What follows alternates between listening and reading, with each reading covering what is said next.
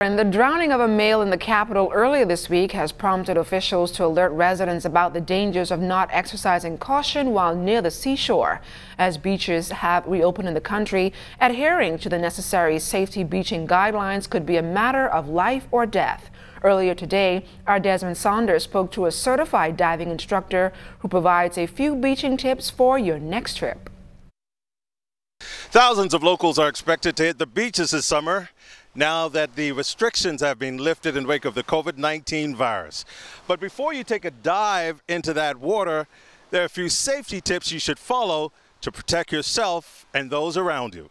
Partner of Stuart Cove Bahamas, Michelle Cove, has been a certified diving instructor for the past 20 years. She's had to respond to some of the most critical situations out at sea. Cove says as you head to the beach, you should travel in a group, and if you are alone, you must ensure that a lifeguard is present.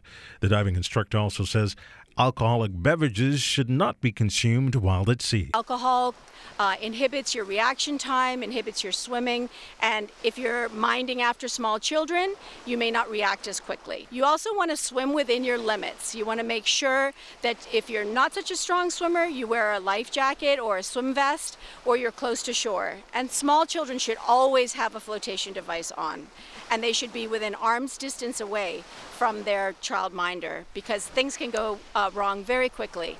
Also, you want to make sure that um, you understand the weather and the depth of the water. So some common things that happen, people will jump off a dock and they'll jump headfirst into shallow water and it may look deeper than it is.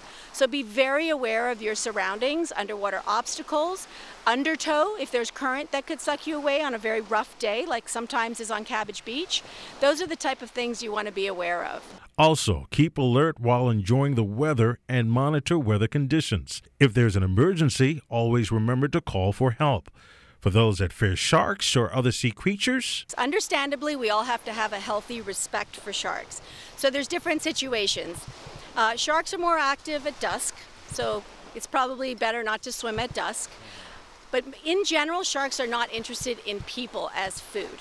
Um, if you have somebody hand lining off the shore nearby, it's probably not a good idea to get in the water because that, or spearfishing, most accidents happen when there's spearfishing or flailing fish or some other situation. In other countries or in low light areas, it's, they mistake you for food because the visibility is low.